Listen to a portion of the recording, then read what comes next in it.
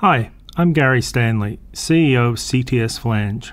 In this demonstration, we'll be showing the simple process of installing the CTS PressFit flange adapter. CTS PressFit flange is now available for all flange configurations. Combined with 100% EDPM electrolysis insulator, CTS PressFit flange is the quickest, most cost-effective system on the market. The components of the CTS PressFit adapter flange are the powder coated steel backing flange, the copper adapter, and the EDPM insulator to prevent electrolysis.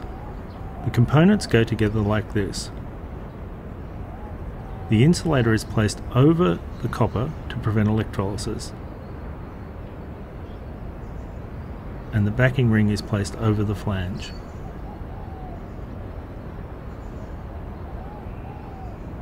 A gasket is installed between the flange and the connecting valve.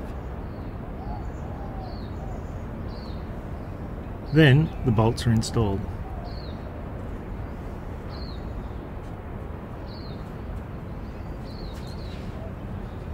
Here we're assembling for demonstration purposes. Once the bolts are in place, they need to be correctly tightened in sequence to the required torque settings.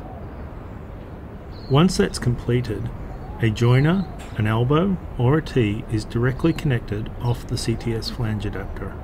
In this instance, we'll be using an elbow to show the process. The elbow fits straight onto the adapter, making sure the fitting is slid firmly into place, facing the direction required. Next, the crimping tool is placed over the fitting the CTS press-fit flange can be used with any crimping tool currently available on the market. The force is applied and the joint is complete.